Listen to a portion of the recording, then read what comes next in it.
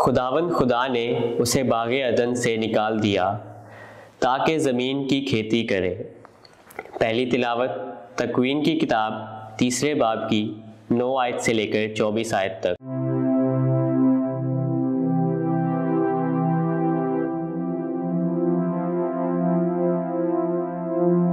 एक दिन खुदावन खुदा ने आदमी को पुकारा और उसे कहा, तू कहाँ है? वो बोला, मैंने बाग में तेरी आवाज़ सुनी और डरा, क्योंकि मैं नंगा हूँ और मैं छुप गया। उसने उससे कहा, तुझे किसने बताया कि तू नंगा है? क्या तूने उस दरख्त का फल नहीं खाया, जिसकी बाबत मैंने तुझको हुक्म दिया था कि इसे ना खाना? आदमी ने कहा, कि जिस औरत को तूने मेरे साथ कर दिया उसने मुझे इस दरख्त का फल दिया और मैंने खाया। तब खुदावन खुदा ने औरत से कहा, कि तूने क्या किया? औरत बोली, कि सांप ने मुझे बहकाया और मैंने खाया। तब खुदावन खुदा ने सांप से कहा, चूँकि तूने ये किया मलौन है तू, तमाम चरिंदों और दरिंदों में। तू अपने पेट के बल चलेगा और अपनी ज़िंदगी के तमाम आयाम तू खाक चखेगा। मैं तेरे और औरत के दरमियान अदावत डालूँगा, बल्कि तेरी नस्ल और औरत की नस्ल के दरमियान। वो तेरे सर को कुचलेगी और तू उसकी एड़ी की ताक में रहेगा। फिर उसने औरत से कहा, मैं तेरे दर्द हमल को बहुत बढ़ाऊँगा। तू दर्द ही के साथ औलाद जनेगी, तू अपने शोहर के इख्तियार में रहेगी। तुझ पर वो हुकूमत करेगा। और आदमी से कहा, चूँकि तूने अपनी बीवी की बात मानी और उस दरख्त का फल खाया, जिसकी बाबत मैंने तुझे हुक्म दिया था, कैसे ना खाना?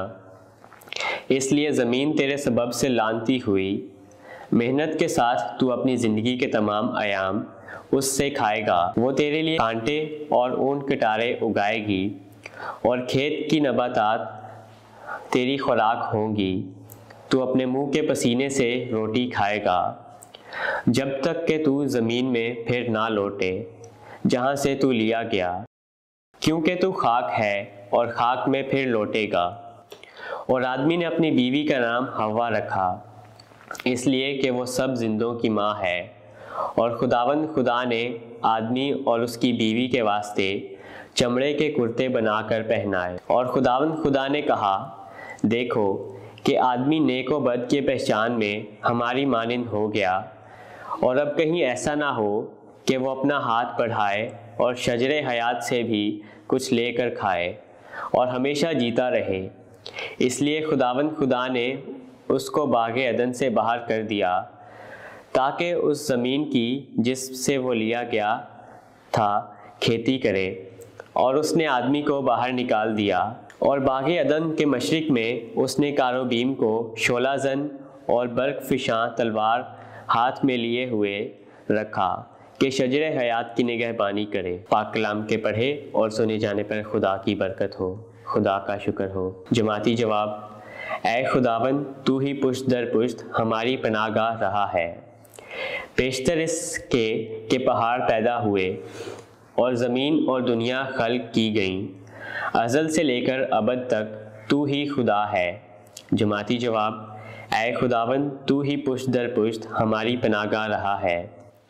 तू इंसान को खाक में लौटा देता है और कहता है कि ए बनी आदम, लौट जाओ। क्योंकि तेरी निगाह में हज़ार बरस कल के गुज़रे हुए दिन की मानंद है या रात के एक पहर की तरह है।